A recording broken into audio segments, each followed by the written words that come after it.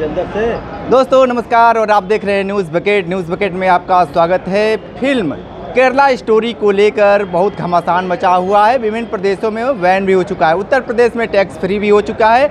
और हम आ गए हैं बनारस के कचहरी में अधिवक्ता हैं अखिलेश उपाध्याय जी। इनसे बात करेंगे कि इस फ़िल्म में कितना दम है और क्यों विभिन्न प्रदेशों में इसको बैन किया जा रहा है। ये बताइए कि इस फ़िल्म को लेकर बहुत सारे घमासान मचे हुए हैं। इस फ़िल्म को लेकर क्या कुछ कहेंगे? भाई फ़िल्म तो फ़िल्म है इंटरटेनमेंट के लिए फ़िल्म है। अब इसको आप अन्यथा जोड़ें और उसका प्रमोशन अगर हमारे प्रधानमंत्री जी करें तो ये तो बड़ी शर्मनाक बात है भाई। प्रधानमंत्री फ़िल्म का प्रमोशन करने के लिए नहीं होता है। प्रधानमंत्री अपने विकास के कार्यों को देश की जनता के दुख दर्द को सुनने के लिए होता है।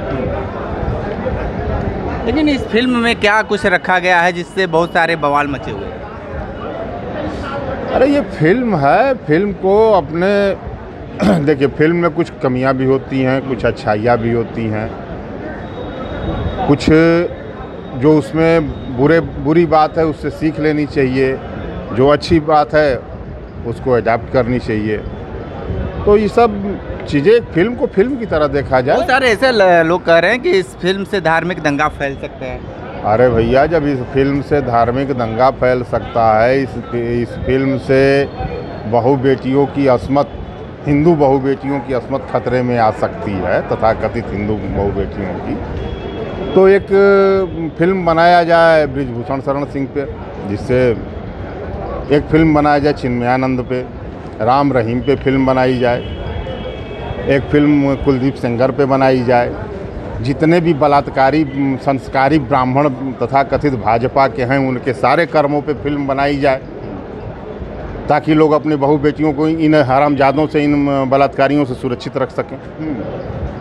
तो ऐसे बनाओ ना, उसका प्रमोशन करो, जागरूकता लाओ। नहीं, लेकिन बहुत सारे लोग कह रहे हैं कि ये कर्नाटक चुनाव को लेकर काफ़ी प्रभावित करेगी। कुछ नहीं प्रभावित करेगी। प्रभावित क्या करेगी? अब रोना है अरे प्रचार करो, अपना वो, अपना जो है विकास का काम गिना नहीं पा रहे हो। तो अब फ़िल्म स्टोरी पे लेके चल रहे हो। बजरंग बली फेल मार गए तो केरला स्टोरी चल रही है। अरे तो फिर लाओ ना गोधरा स्टोरी लाओ। पुलवामा स्टोरी लाओ। उसको भी तो ला कर दिखाओ जन, पब्लिक को कि हाँ हमारे ये कर्म हैं। हम किस तरह से आए सत्ता में? तो एक ही पिक्चर आई थी बीबीसी को लेकर क्या कुछ कहेंगे? हाँ हाँ अभी अब आपने सही याद दिलाया। बीबीसी डॉक्यूमेंट्री को आपने बैन कर दिया उसको भी दिखाओ ना। कि तुम्हारा विभत्स चेहरा कैसा है? कैसा है आपका चेहरा है कैस, कैसा है आपका चरित्र है? बहुत सारे ये लोग कह रहे हैं कि जो ये फ़िल्म बनाई गई है जिसकी वजह से काफ़ी मुस्लिम नाराज़ हैं। ये बात कितनी सही है? आप भैया कोई नाराज़ हो कोई खुश हो फ़िल्म तो फ़िल्म है इंटरटेनमेंट की तरह देखना चाहिए इसको लेकर कोई मन में विवाद नहीं पालना चाहिए न कोई भ्रम पालना चाहिए। हाँ। तो आप क्या कहेंगे इस फ़िल्म को लेकर? फ़िल्म घटिया किस्म की फ़िल्म है। वैमनस्यता पैदा करने के लिए ये प्री प्लान स्क्रिप्टेड फ़िल्म है और कुछ नहीं है। तो जैसे कश्मीर कश्मीर फाइल्स आई हाँ। चुनाव के वक्त ही आई उसका प्रमोशन भी हमारे महामहिम ने किया। कश्मीर फाइल्स का प्रमोशन किया, केरला स्टोरी का प्रमोशन किया और बीबीसी डॉक्यूमेंट्री को बैन कर दिया। बीबीसी डॉक्यूमेंट्री को बैन किया। क्यों बैन किए भाई? उसको भी चलने देते।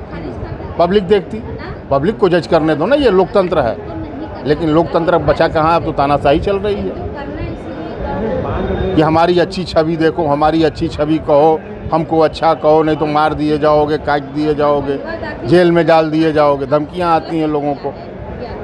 जहाँ पर हारने लगते हैं, वहाँ मरने मारने की बात करते हैं।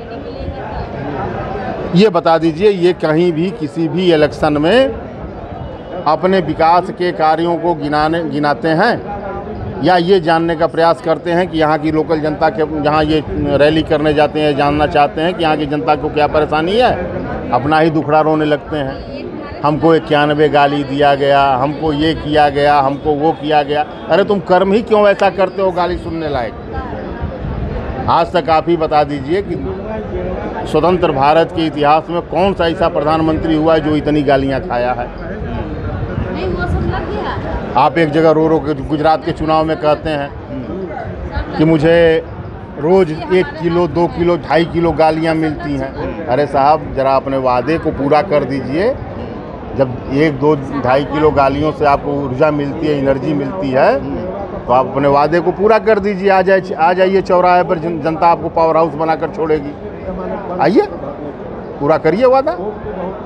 ठीक है। गजब की तो आप सुन रहे थे अखिलेश उपाध्याय जी थे जो अधिवक्ता हैं और सीधे तौर पे इन्होंने जो भी फ़िल्म थी उसको लेकर इन्होंने ये कहा है कि जो थोड़ा सा मनोरंजन के लिए फ़िल्म बनाई गई है, लेकिन जिस तरीके से विभिन्न प्रदेशों में इसको बैन कर दिया गया है, देखना दिलचस्प होगा कि आने वाले वक्त में किस किस प्रदेश में इसे बैन किया जाता है। ग्राउंड ज़ीरो से रिपोर्ट कर रहे थे तो हमारे साथ बने रहे न्यूज़ बकेट के साथ। हमें दीजिए इजाज़त। नमस्कार। पेश है न्यूज़ बकेट हिंदी मासिक पत्रिका। पढ़ें इस महीने की पूरी खबर विस्तार से हमारे न्यूज़ बकेट की मैगजीन में। हमारी ई मैगजीन को मुफ़्त में पढ़ने के लिए अभी लॉग इन करें www.newsbucket.in पर इसके अलावा रोज की ताज़ा खबरों के लिए हमारे यूट्यूब चैनल को तुरंत सब्सक्राइब करें